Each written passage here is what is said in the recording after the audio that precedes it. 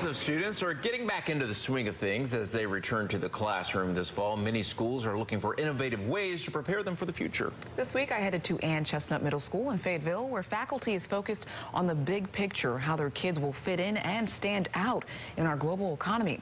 They're using foreign languages to bridge the gap. Assalamu alaikum. Mr. Hamed's 6th, 7th, and 8th graders don't say hello in English, but in Arabic. And Miss Chen's students are learning to count in Chinese. Fayetteville's Anne Chesnutt Middle School is one of about a dozen North Carolina schools using several federal grants and programs to teach some of the fastest growing languages. Students are taught by native born speakers like Mr. Hamed, who is Egyptian, and Miss Chen, who is Chinese. Once they get to middle school, they, I think we have an opportunity to expose them to more languages, and it's critical that these students be exposed to these languages because it, it prepares them for life. What word is this? These teachers say learning a new language does take time and practice, plus patience.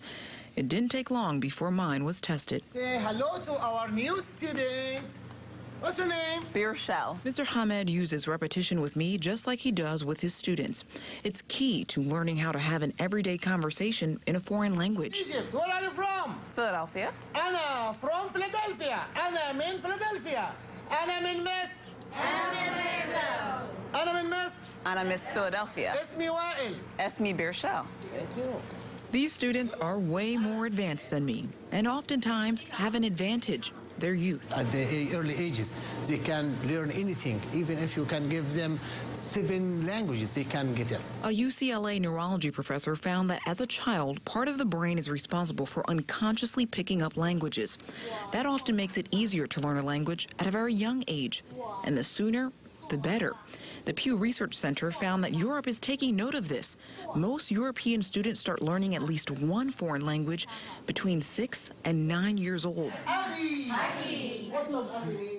Anne Chesnutt Middle School wants to give their kids that same head start in this competitive global market.